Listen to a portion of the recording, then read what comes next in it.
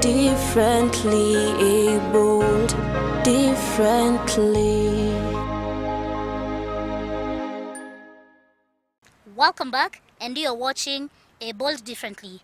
The Inclusive Africa Conference took place on the 25th and 26th of May with the theme Advancing Digital Accessibility and Assistive Technology in Africa. This is how the two days event went down. The third annual Inclusive Africa Conference took place on the 25th and 26th of May 2022 at the Trademark Hotel. The theme was Advancing Digital Accessibility and Assistive Technology in Africa. When I began this journey, the inABLE journey in 2009, the road forward was very clear. Blind children deserved the same educational opportunities as their sighted peers. The fact that computers at schools for the blind were only for the sighted completely baffled me. Having had the uh, good fortune to pursue higher education and a life in the United States, I knew that computer literacy was life-changing. Our start was modest with a simple donation of $3,400. We purchased 10 refurbished computers and we partnered with the Thika Primary School for the Blind and we enrolled about 100 students back then in 2009. The last two inclusive Africa conference have provided a dynamic opportunities to explore global best practices that have improved accessibility and inclusion. This third conference, therefore, comes at the time when the world has learned lessons from the COVID-19 pandemic that point out the need for the promotion of the rights and well-being of all persons. The two days event was organized by inABLE in partnership with other organizations. The Kenya Bureau of Standards, in partnership with inABLE, is launching the first ever Kenya standards on accessibility of ICT products and services. Standards uh, play a critical role in defining and describing our everyday environments, work environments, social environments, and living environments. ICT and the related activities in this environment should meet some minimum accessibility, requirements. The new standards that were gazetted on 13th of May this year are set to ensure that public and private sector digital products and services are accessible to persons with disabilities and older persons who are largely disconnected from most e-government services and e-business owned digital platforms. inABLE seeks to equip youths who are blind with assistive technology skills. So far, they have reached six schools. inABLE has a simple mission to empower the blind and visually impaired youth in Africa through computer assistive technology. So we focus on establishing assistive technology labs in schools for the blind here in Kenya. So on a regular day, we have about a thousand blind and low vision students who attend our programs. Kenya has 16 schools for the blind, so inABLE still, still has a very long way to go. The issue of assistive technology and skills training is not unique to schools for the blind only. It includes all other disabilities like schools for the deaf or those even with physical disabilities. It's also not just unique to Kenya. Other African countries need these types of programs to help them prepare youth with disabilities to participate in the digital economy. Discussions during the conference centered around digital accessibility and how the already established platforms can be improved. Let's not just look at the, at the, at the point of um, those who receive the service, those who give the service. I think the continued training on uh, the preparation of these platforms to ensure that they are universally designed so that uh, we are able, all of us, to access. A number of the things that Samuel have touched on obviously requires a rethink around how we develop not only our products but also our digital channels. And you know, in digital, we always talk about design thinking, and you know, design thinking is putting the human at the center of everything we do. For persons with disabilities, it can be difficult to find a new job.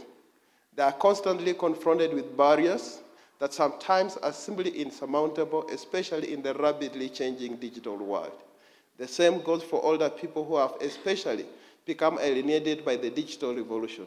It should never, never be so. Persons with disability have the right to have good conditions in their workplace, to live independently, to equal, to have equal opportunities, to participate fully in the life of their community. They all have a right to a life without barriers, and it is our obligation as a community to ensure their full participation in society on equal basis with others by developing conditions, more so digital, that can accommodate them. The main highlight was the launch of the National ICT Accessibility Standard for products and services in Africa. The standards provides a framework for gauging and ensuring pub public ICT products and services are sensitive to the needs of persons living with disabilities. The idea that it creates inclusion for people with a wide, wide range of abilities and disabilities and will enhance participation at work, access to education for all, access to health information, development of advocacy, and peer support networks. The ICT Authority uh, has a key mandate of standardizing the implementation of ICTs in the public service. And therefore, this standard becomes very key uh, in assisting us uh, in designing accessible infrastructures, uh, systems and services that will therefore enhance uh, the access of the services by the citizens. Therefore, we are looking forward to the implementation, even as we uh, launch the standard, and we will uh, work in collaboration with all the stakeholders in the implementation of the standard uh, within the public sector to ensure that our ICT services are accessible uh, by all uh, that uh, need to access the public services. Those in attendance applauded the initiative as it's a platform that will help to shift the direction of the accessibility conversation. I would like to thank inABLE for putting together the first in-person Inclusive Africa Conference in your pursuit to advance inclusion, digital accessibility, and assistive technology. I am confident that the high-level discussions that will be held at this conference will go a long way in promoting inclusivity in employment, education, financial services, ICT policies, digital innovations, and mobile assistive technology. It is indeed commendable that Kenya is the first country in Africa to develop its digital accessibility standard. The best thing that has happened these last few decades is technology for persons with disabilities. And it became our best ally, as the young girls have really alluded to. So the, as a government, we'll walk the journey with you, Irene, and many other disabled persons organizations to ensure the barriers in front of persons with disabilities to a greater extent will be minimized. We always argue it's not about our impairment. It's about barriers across millions of us with different impairment. And one of the most potent of all is attitude of communities toward those with disabilities. And such conversation, very healthy conversation, we're going to address how we can even tackle attitude of society towards those who look different than them. DJ Wiwa, who was the official DJ for the event, also appreciated the opportunity to perform.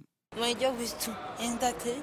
It's an honor to be here because also in your town, on here on the link, yeah, and here, nang nang langit, better, ya kunisaidia.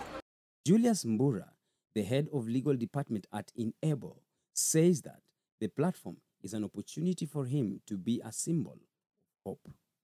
The kind of lessons we're giving them is for an independent living in the future and for them to know that there's potential for them and disability is not a limitation.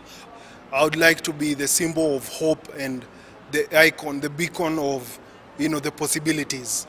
I want to be that. I want to be you know that figure that um, if, if you, you, you go to to a conversation about you know people with disabilities, they get to to understand that you know we've done this and anything that people thought is impossible for you know that, that's why I do so many things from driving riding motorbikes and skating all that it's because I love all these things and I do it with love and enjoying myself to show people that we can have fun Let's take a look at the UN Convention on the rights of persons with disabilities. Article 25 of the UN Convention on the Rights of Persons with Disabilities states that state parties shall, part B, provide those health services needed by persons with disabilities, specifically because of their disabilities, including early identification and intervention as appropriate, and services designed to minimize and prevent further disabilities, including among children and older persons.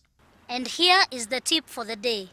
The ICT era and the whole question of um, uh, assistive technology as we know it today, it could be either an enabler or a disabler for people with disabilities. It could uh, bring about inclusion and it could also bring about uh, exclusion. And in this era, when all economy is geared towards the digital uh, uh operations, uh, we are having problems because we seem to be going back and forth, particularly among people with disabilities, in being unable to cope with the changes that come with the digital changes. Well, folks, I'm afraid that's where we end the show for today, but be sure to join us every other Sunday. My name is Jane Theuri. Enjoy the rest of the viewing. We are here and we are strong. Let's be counted as we move on. Make a difference, change lives as we tell our different stories. We are capable, beautiful. We are born to do great things. We're unstoppable incredible cause we're differently abled differently